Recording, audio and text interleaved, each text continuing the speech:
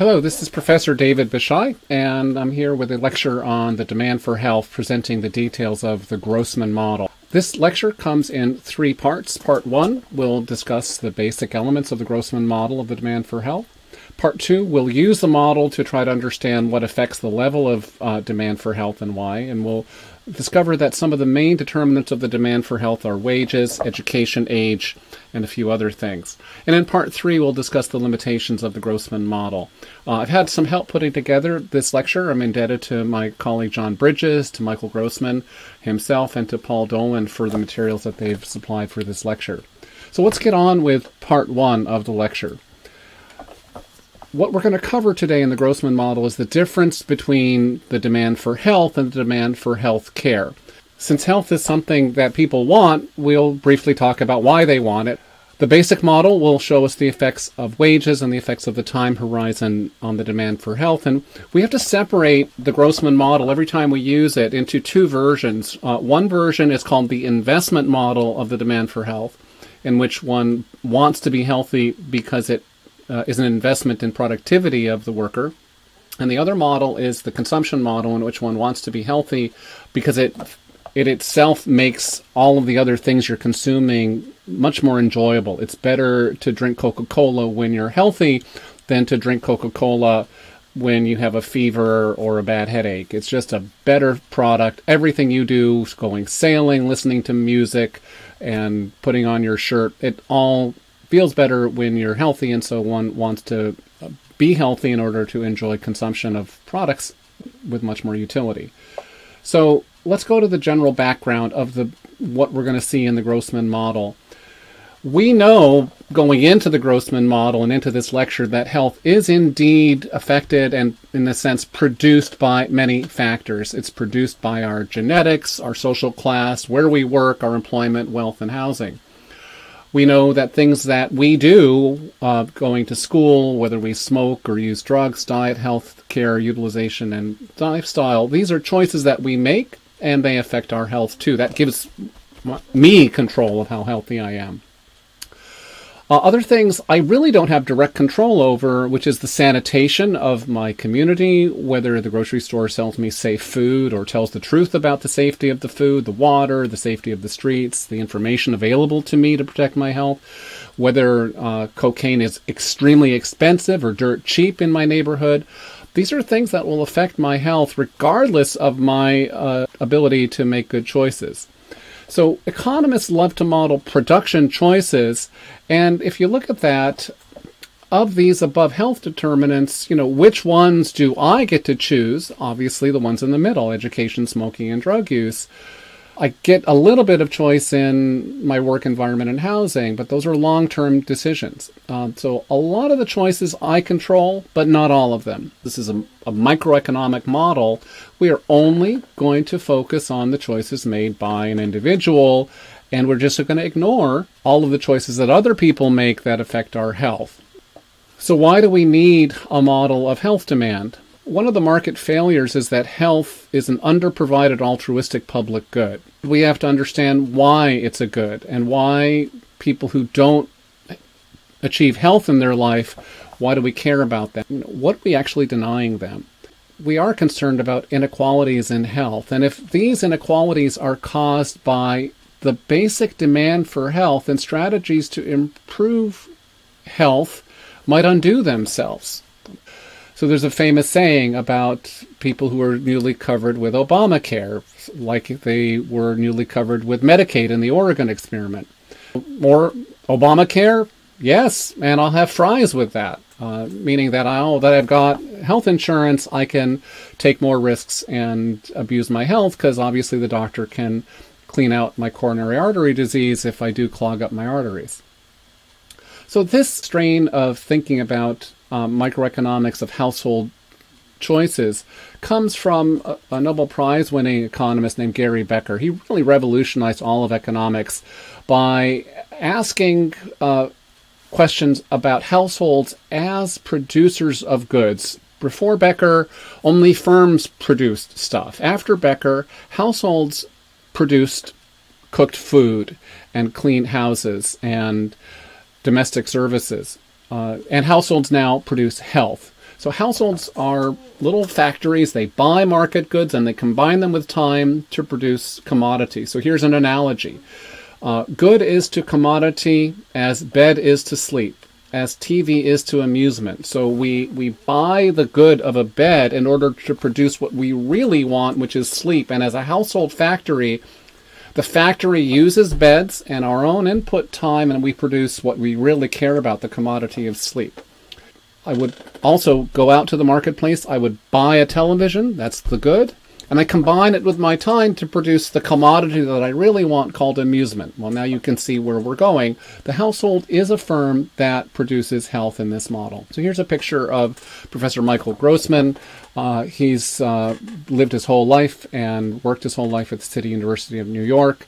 And even in retirement, he's still quite productive, and you can still see him producing a lot of, of new and groundbreaking research.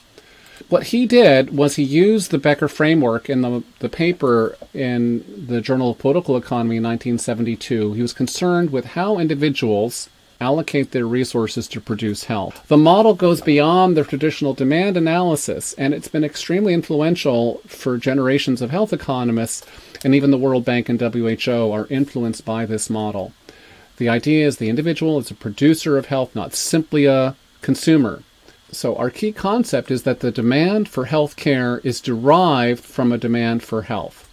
Few people want health care for its own sake. They derive their demand for health because they want healthy days. And they're not passive consumers of health. They actively produce health. They take their time and their money and they decide how healthy to be.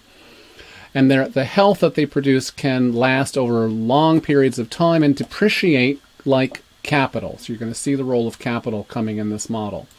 So here's an isoquant version of how this model works as a production model. One takes many, many inputs. I'm only picking two of them because isoquants are two dimensional.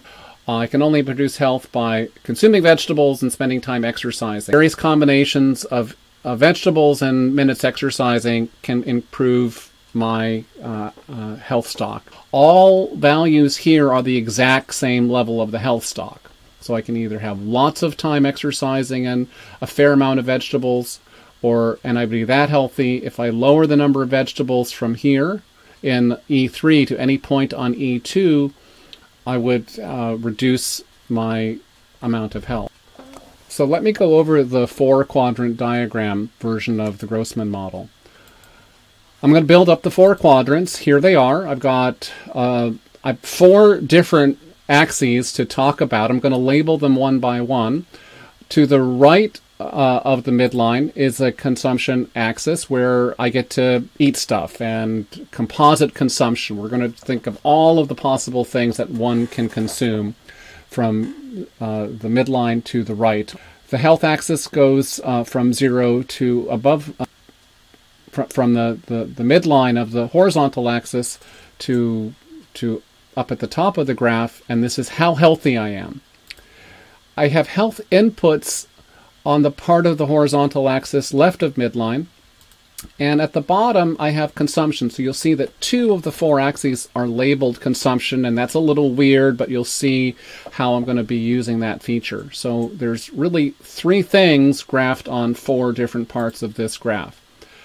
In the top left, I have a production function. I've been talking about this throughout the beginning of this lecture, and you can see here its relationship between buying more and more health inputs and how healthy I am. And the more health inputs I move left and left and left, the healthier I am. I am, and there are diminishing returns to scale, so this doesn't increase at an increasing rate uh, after I've eaten my 10th bundle of broccoli, the benefit to my health has been reduced, and so you see diminishing returns to scale.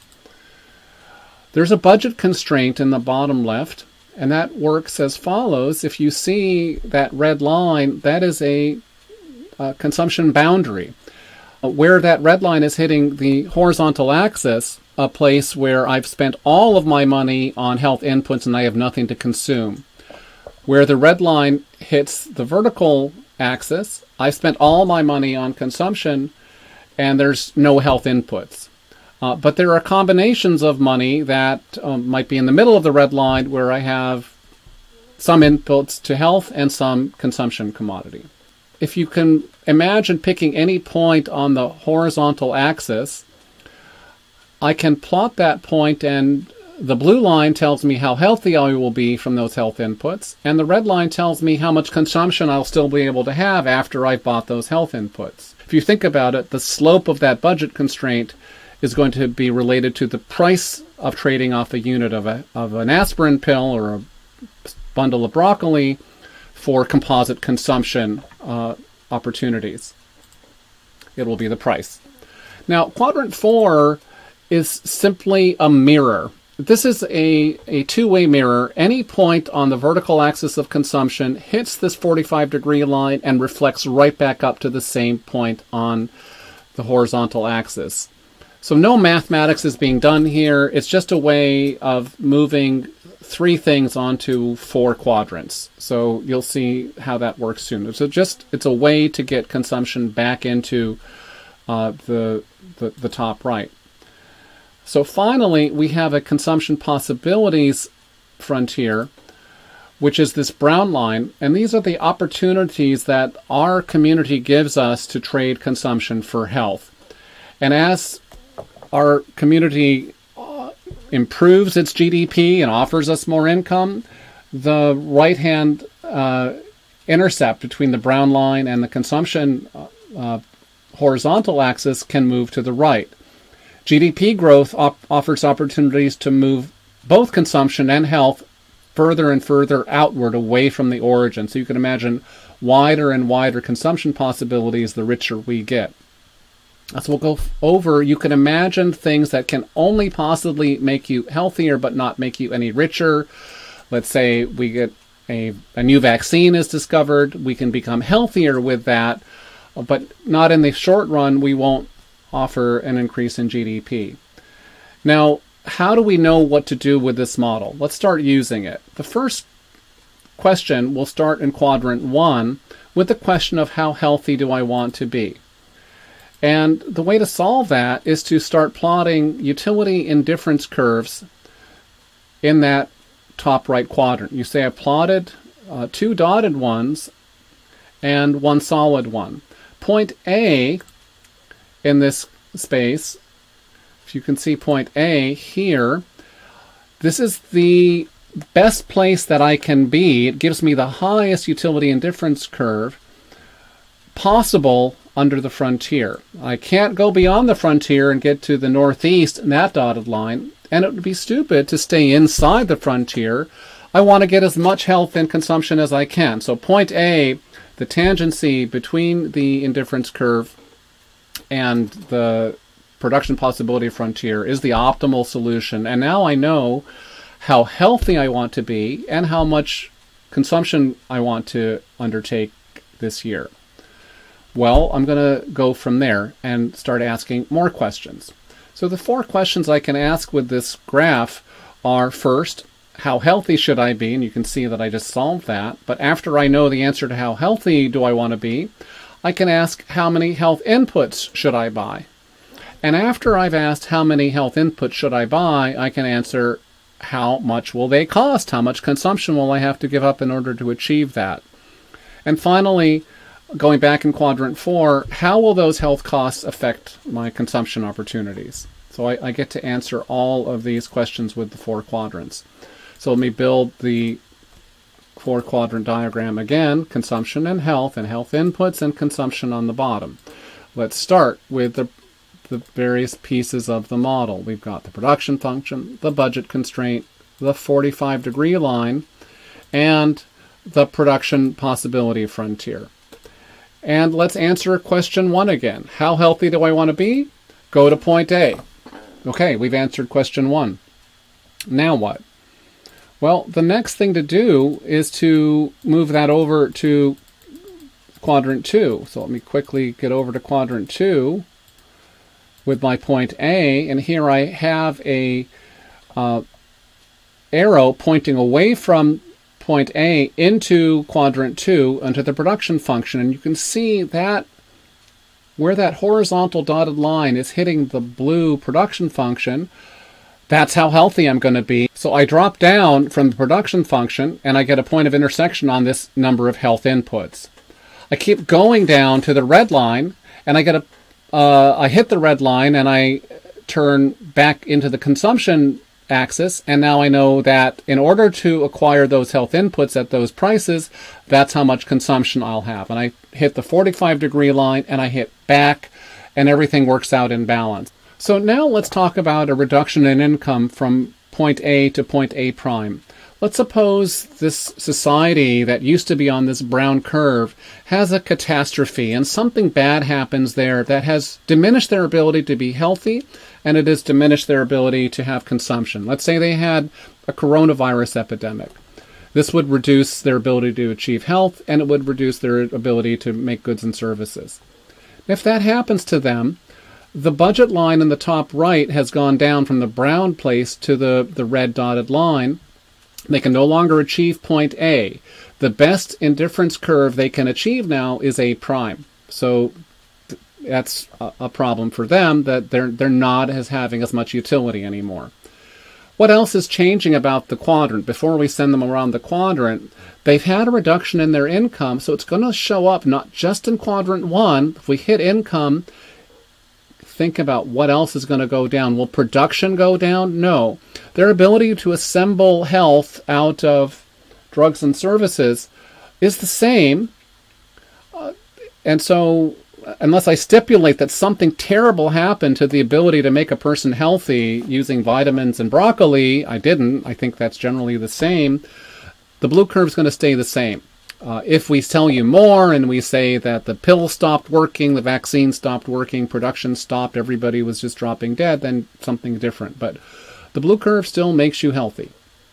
But what does change, obviously, is their production opportunities here in the quadrant three. They can no longer uh, achieve this amount of uh, combinations of consumption and health inputs, and those have been reduced. Now that we've redrawn their budget constraints, accordingly, we can start the process of going around the loop. We start from A prime, we hit the blue curve at this new point that's been reduced. They will produce less health on the blue curve. They will drop down to the red curve in quadrant 3, and you'll see that they will require less health inputs. They don't need as many drugs and pills because they can't afford them, and they've decided they can't produce as much health because they don't have the money to be that healthy anymore. And so from the quadrant three, we reflect back and we've had a reduction in both health and consumption. We've also had a reduction in the demand for all healthcare services because of the reduction in the economy. People just can't pay their health bills in this exercise. So now let's model a case where there's been improved health technology only. Supposing I take this blue curve and I say, you know, this blue curve just got better. Somebody improved the quality of aspirin or they've invented a new health technology. So for every dollar you give a doctor now, they make you 10% healthier. The doctors are just smarter in this country. They have higher quality. And if we've improved the blue curve, think about it briefly. And then before I tell you what happens, if we make health technology better, what might happen to the other curves. Will this production possibilities curve stay this way? And will this health input uh, price curve stay the same way? Well, you're right. Uh, if we've made health technology more efficient, we can improve the point where the production possibility frontier lives uh, and intersects the vertical axis. It will no longer hit here, but it'll hit a lot higher. We can now transform consumption opportunities into more health because this health technology has come on board and made our doctors uh, and nurses smarter and they make us healthier even though we give them the, the same amount of money. So we'll do that as a homework exercise, but I wanted to, you to think about it. Also think about, you know, what if health technology becomes 10% better and you can get healthier with the same amount of money? Good question, right? What'll happen in quadrant three? Will the doctors and nurses charge you more for the better health, or will they say, "Look, it's the same hour as an hour, uh, even though my patient got healthier, I'll still charge you the same"? Let's talk about that uh, at another time. it's worth pondering whether or not they will price in and keep you uh, on a treadmill, always paying them more for every every extra bit of health they give you. So this is the basic introduction to the Grossman model of health demand, and I, I hope you enjoy it. We're going to talk about uh, what it it implies and what its predictions are in part two when we talk about the marginal efficiency of capital.